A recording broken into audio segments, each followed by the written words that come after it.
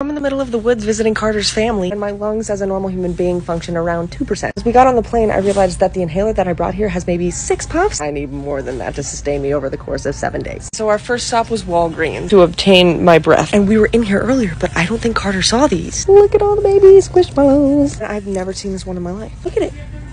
It's like a really bougie avocado called Kachima. Probably has a really intense life story on the inside that I'm too lazy to read. Yeah, look at all those words. But I feel like this is like the only cute one, to be honest. This one's in a visor. Can I also get Forest?